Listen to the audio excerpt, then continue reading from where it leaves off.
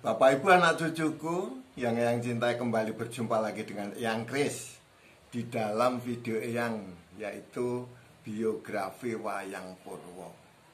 Sekarang masih Gatot Koco loh sekarang. Soalnya apa? Soalnya kemarin sudah Gatot Koco. Sekarang Gatot Koco lagi ya. Karena panjang. Kebetulan Gatot Koco itu banyak aktivitasnya.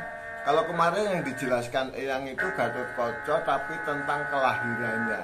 Kan gitu ya. Oke, sekarang tentang debutnya, tentang perkawinannya dan lain sebagainya. Dia selalu bersama dengan Abimanyu yang namanya Gatot Koco itu. Abimanyu itu putranya Arjuna, padahal Gatot Koco itu putranya Werkudara. Jadi dia itu saudara hmm, sepupu, ya, saudara sepupu sama sama hmm, Abimanyu. Begini ternyata si Gatot Koco itu istrinya bukan satu tapi tiga. Istrinya tiga ya. Nah mungkin itu yang ditiru oleh orang-orang sekarang istrinya lebih dari satu. Tapi ini Gatot Koco kan bayang ya. Jadi uh, saja. Orang-orang juga boleh aja. Yang penting bertanggung jawab itu aja. Yang pertama kali itu namanya Dewi Sumpani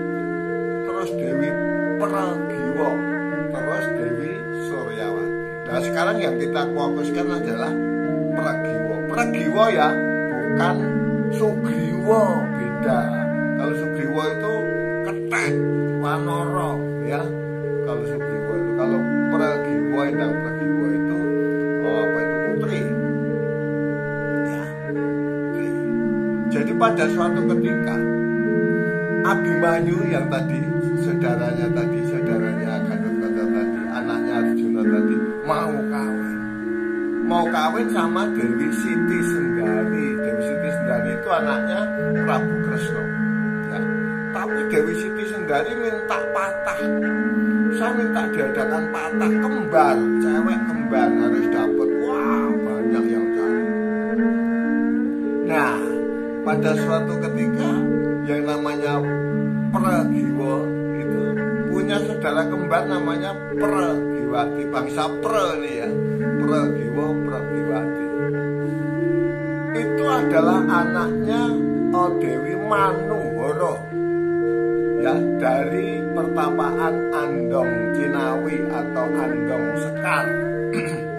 Nah Dewi Manuhara itu istrinya Arjuna. Berarti yang namanya Pragiwa dan Pragiwati ini anaknya Arjuna. Pragiwa dan Endang Pragiwati setiap wayang yang di depannya pakai nama Endang itu berarti dia adalah anak begawan. Bahwa dia berasal dari pertapaan dari gunung gitu jadi dia tidak memakai sebutan Dewi tapi Endang. Jadi kalau Endang berarti dari pertapaan. Endang ya Jawa. Bukan Endang. Kalau Endang itu Sunda Mang Endang Pas Endang ya itu Sunda. Bapak Endang Sunda. Tapi kalau Jawa Endang. Perempuan. Kalau Sunda Endang itu laki-laki. Karena dia perempuan dua maka diiringi dikawal oleh seorang cantrik cantrik itu murid. Murid dari pertapaan. Cantriknya itu namanya cantrik Jono Loko dari Anjong Cinawi dia pergi ke Amarta padahal jauh banget lewat hutan. Wah digodain terus di jalanan itu. Sama si cantrik Jono Loko yang namanya Pragiwa Pragiwati nah pada suatu ketika ternyata putra mahkota Astino itu namanya adalah Lesmono Mondro Kumoro itu juga mau kawin dia. Hmm? juga mau kawin. Sama Dewi uh, namanya itu mana ya nanti dulu ya namanya ya. Namanya Dewi Siti Sendari Dewi Siti Sendari itu anaknya Kresna itu yang juga mau dikawin sama Abimanyu itu. Jadi tunggal tunggal ini tujuan sama tujuan. Tapi dia mengerahkan 100 orang. Mengerahkan 100 orang untuk mencari patah itu. Ya karena Kurawa kan 100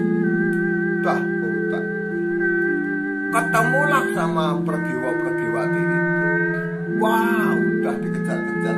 Tapi di situ kan ada cantrik Jonoloko. Udah cantrik Jonoloko. Dengan terpaksa bukan tandingannya dia melawan Korowo itu. Lagi seru-serunya Endang Pergiwo dan Pergiwati pergi meninggalkan pertempuran itu ya ketemu sama Abimanyu ceritanya gitu Ditanya sama Abimanyu kamu itu siapa? Oh saya itu Endang Pergiwo ini adik saya Endang Pergiwati saya dari apa itu percabaan Andong Cinawi oh ibu ah, kamu mau ke mana? Saya mau ke Amarta. Ah, Amarta iya. Mencari siapa? Cari ayah saya. Namanya siapa? Arjuna. Wah Arjuna itu juga ayahku. Berarti kamu satu apa itu namanya saudara dengan aku itu si Abimanyu itu nah terus ini kamu bagaimana ini? Nah, saya di tengah hutan gini ternyata tadi ada Korowo anu mau ini saya untuk apa itu? Untuk patah di Astino sana. Tapi aku nggak mau dia bilang gitu. Oke lah kalau mama begitu ibumu namanya siapa? Ibuku namanya uh, Manuhara Manuhara. Wow iya. Ya sudah. Betul baru ngomong-ngomong begitu datang Kurawa Kurawa datang ke situ langsung merebut. Perang lah perang tanding antara Kurawa dengan Abimanyu. Tapi Abimanyu kesatria sudah sudah terbiasa dengan pola perang jadi wah nggak masalah. Beda sama Tantrik Jonoloko tadi. Tapi karena satu ya satu dan lawannya seratus wah akhirnya kepepet padahal setiap pergi sebetulnya dia itu Abimanyu itu dikawal oleh kakaknya. Namanya Gatot Koco. Tapi dia nggak ngerti karena apa? Karena ngawalnya itu dari udara orang Gatot Koco itu bisa terbang. Jadi dia ngelihat dari bawah. Ngerti kalau adik sepupunya kepepet gitu dia turun langsung. Wah langsung tandangin semua itu. Kurawa hancur lebur wah bisa-bisa. Pada pergi semua pada saat itu dikenalkan. Ini namanya Gatot Koco Gatot Koco itu uh, putranya apa itu Werkudara paman Werkudara oh iya berarti masih saudara ya masih saudara. Gatot Koco jatuh cinta. Nah lo Gatot Koco jatuh cinta yang namanya sama yang namanya Pergiwo itu. Udah akhirnya dia pergi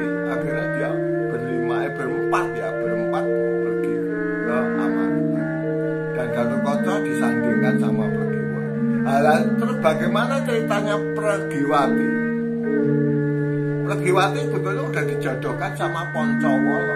Poncowolo itu anaknya Prabu Yudhistira atau Prabu Puntadewa Pandowo yang paling tua.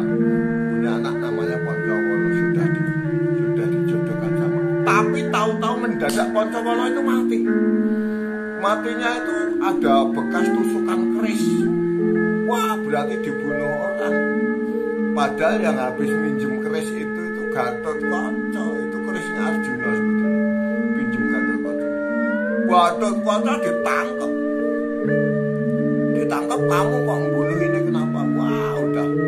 Dihancur-hancurin sama bapaknya. Bapaknya itu si Werkudara itu dianteng digebukin. Terus dirantai. Ya baru dalam keadaan dirantai gitu ditaruh di apa gudang gitu kayak kayak gudang gitu tapi di bawah tanah penjara datanglah Betoro Narodo wah kayak biasanya itu Betoro Narodo Alah, dobrek dobrek berkante pun tuh teh maju kelongan.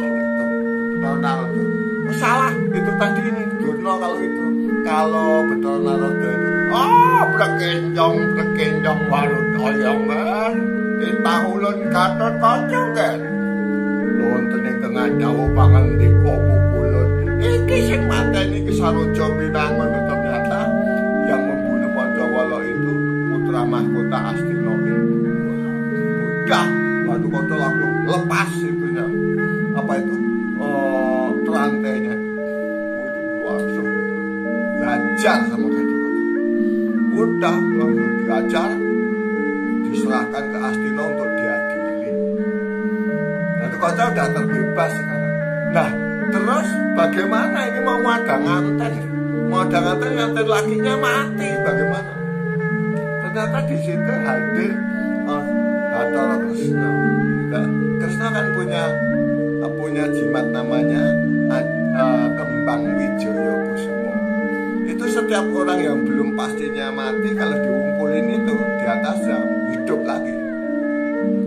Udah kembang itu ditaruh di atasnya si Poncowolo itu hidup lagi Poncowolo kata memang belum pastinya untuk mati. Hidup lagi. Wah sudah hidup.